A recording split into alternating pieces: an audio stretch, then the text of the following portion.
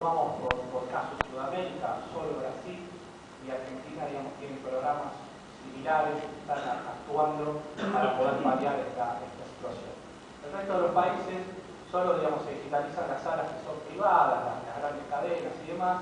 dejando un poco al libre albedrío digamos, lo que son las salas independientes o las, las salas este, eh, que, que, no pertenecen digamos, a los grandes complejos. Entonces, este es un problema en realidad cuando uno ve los índices también de digitalización en el mundo, son índices que cuando se presentan a uno de las obras, entonces uno ve que en, Francia está casi 100% digitalizado, este, en Estados Unidos está casi 100% digitalizado, pero claro, esos cómputos en realidad, si uno los desglosa los analiza, solo los francos